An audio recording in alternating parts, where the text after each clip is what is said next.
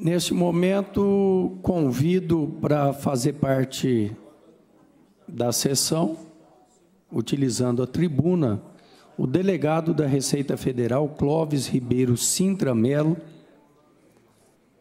para fazer seu pronunciamento.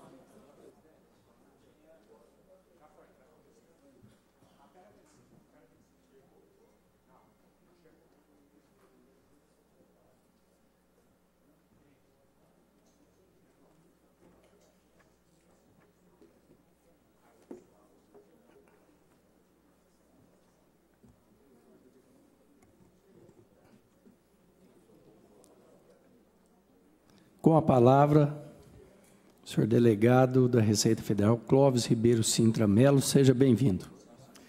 Excelentíssimo senhor deputado Gerson Claro, presidente dessa distinta casa, em nome do qual eu cumprimento os demais membros da diretoria. Excelentíssima senhora deputada Mara Caseiro, em nome da qual eu cumprimento as demais deputadas distinto amigo, deputado Lídio Lopes, em nome do qual cumprimento os demais deputados aqui presentes, senhoras e senhores, público que aqui nos assiste.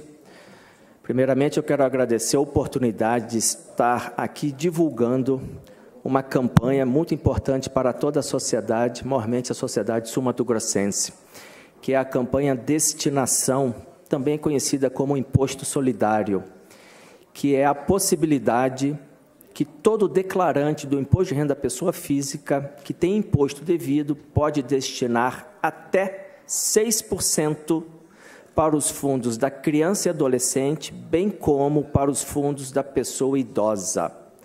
Destaco que nada mais o contribuinte paga ou irá pagar em decorrência dessa doação.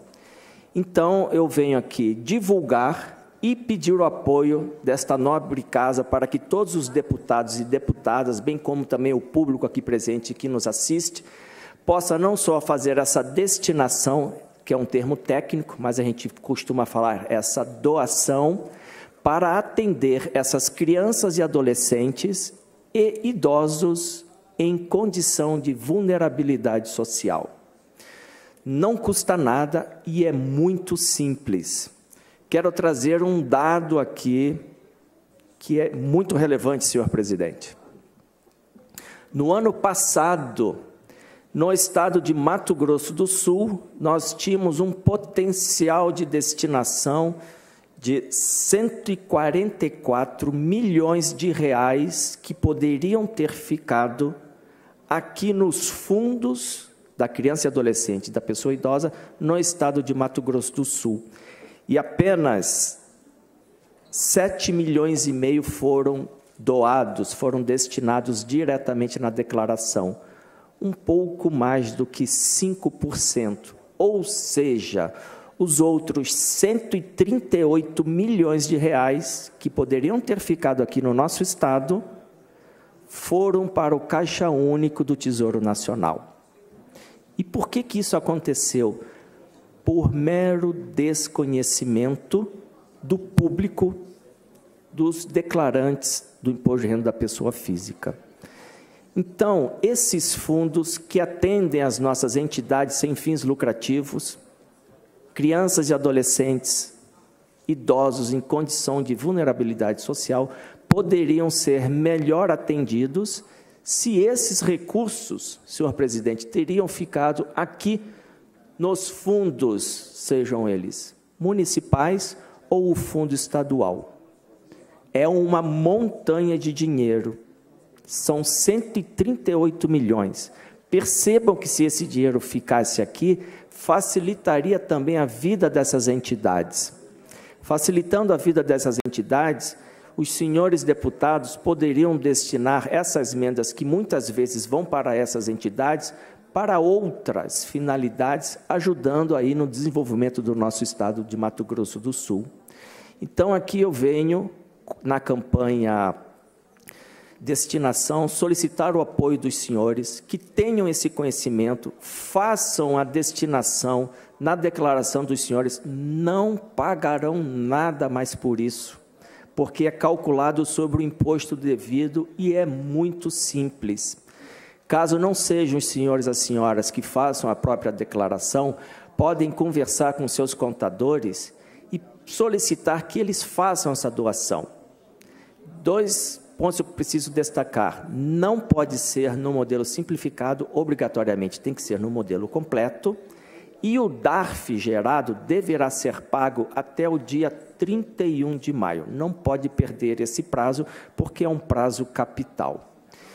Então, senhores deputados, senhoras deputados, público que nos assiste, essa campanha que a Receita Federal está encabeçando, ela não é apenas da Receita Federal, ela é de toda a sociedade brasileira, ela é de todo brasileiro que tem uma preocupação social e que a lei permite que cada um de nós faça a destinação de parte do seu imposto, que já é devido para esses fundos.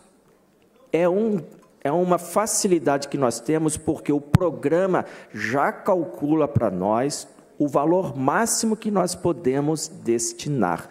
Não precisamos calcular. Apenas precisamos, depois de preenchida a declaração, preencher a ficha de doação diretamente na declaração e o programa já calcula o valor máximo e você determina qual é o valor que você vai destinar. Feito isso, imprimam seus DARFs, recolham até o dia 31 de maio e entregue a declaração também até 31 de maio, para que a gente possa consolidar e efetivar essa doação. Essas crianças, esses adolescentes, futuro do nosso país, bem como os idosos que já ajudaram no desenvolvimento, no desenvolvimento do nosso país, agradecem.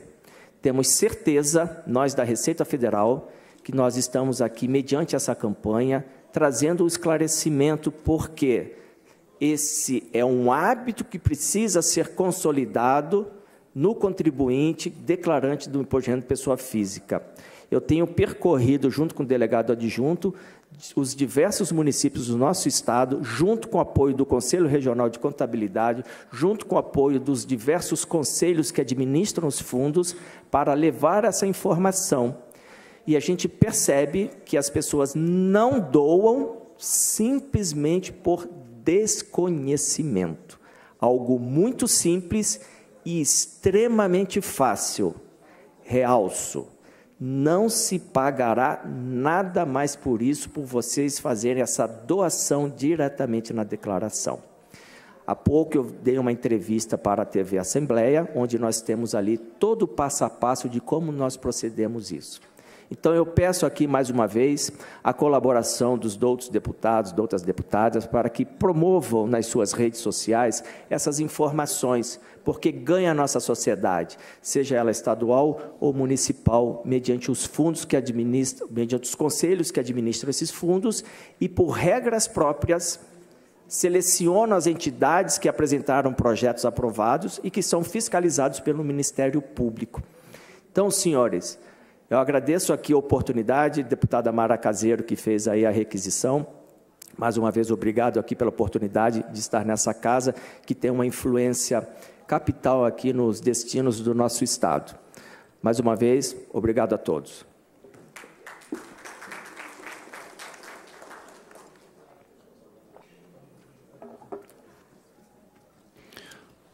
Obrigado, Dr. Clóvis Ribeiro Sintra Mello, muito esclarecedor suas palavras. Nesse momento, passamos para o próximo é, orador do dia. Pois não. Apenas agradecer, doutor Clóvis, né, que veio nos trazer essas informações, para incentivar realmente né, é, as pessoas a doarem é, parte desse, do seu imposto de renda, poder doar para essas instituições, através aí do fundo é, da pessoa idosa e do fundo também da criança e do adolescente. Obrigada, doutor Clóvis. Sei do seu trabalho, é, sei do trabalho social também, que o doutor faz hoje frente ali à delegacia da Receita Federal, é, atendendo, inclusive, muitas demandas de instituições que fazem um trabalho social no nosso Estado. Meu muito obrigada é, esperamos que as pessoas possam entender a importância de estar doando para esses fundos. Obrigada, presidente. Obrigado, deputada.